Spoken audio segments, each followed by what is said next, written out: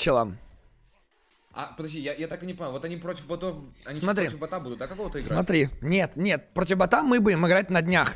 Я просто я говорю, я сегодня, короче, вообще не хотел стримить. Я хотел запустить на Good Game и посмотреть Нави турнир с ребятами.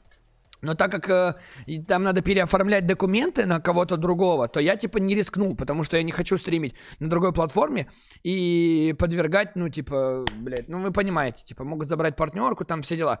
Я хотел типа, я решил, что когда будет Нави играть, пока не договорились, короче, ну у нас сейчас идут переговоры, и есть шанс, что я стану официальным комментатором матчей Нави. А, нихуя!